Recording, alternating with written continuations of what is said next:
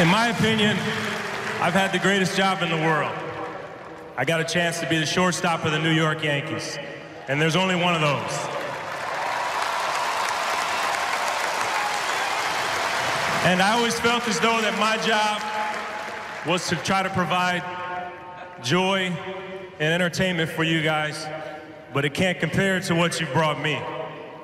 So for that, thank you very much. You know, I, I've loved what I've done.